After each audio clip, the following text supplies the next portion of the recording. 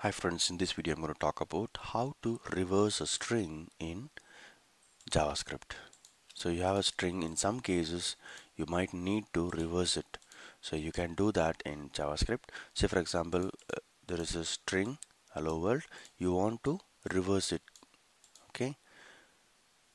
This can be done in JavaScript. Let me show you the code. And so here I have uh, an HTML page. When you click on this button, it's going to call a JavaScript method reverse my string and there is a string available here initial value assigned to a str then what we are going to do is we are going to iterate one by one okay we got the length and we will start from the end so we'll start from D L R O W.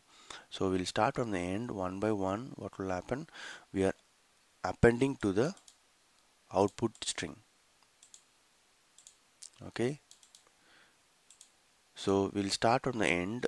You can see here uh, the length minus 1 okay? We are initializing the i value to length minus 1 so that will be the last character then i is greater than or equal to 0 then we are reducing. So we start say for example 5 and 5 so the length will be 11 okay so we'll start with D L R O. So each character we will be appending to this result string okay?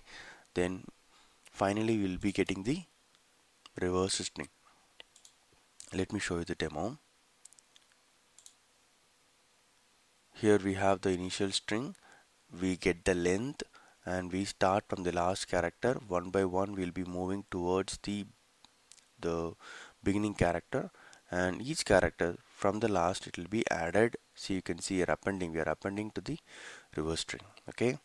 So when I click on this you can see the reversed string the result we got okay?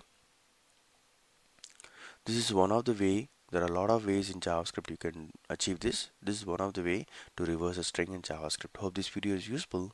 Thank you